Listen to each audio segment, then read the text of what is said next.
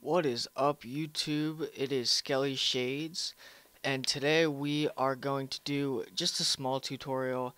Um, I am super stoked because I just came up with um, a channel intro so I thought I would use this video um, and do something very simple to uh, uh, showcase that uh, the intro. So uh, here we go.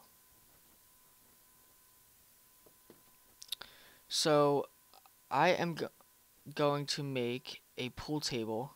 Um, so what you need is green wool, oak, or the wood of your choice, I guess, and then the stairs of your choice.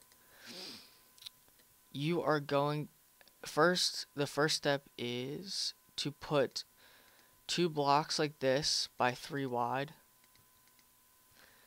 and then take your oak or your the wood of your choice and put it like this on each of the ends. There we go. And then your last step is to put upside down stairs, the stairs of your choice, around like this to connect the wood.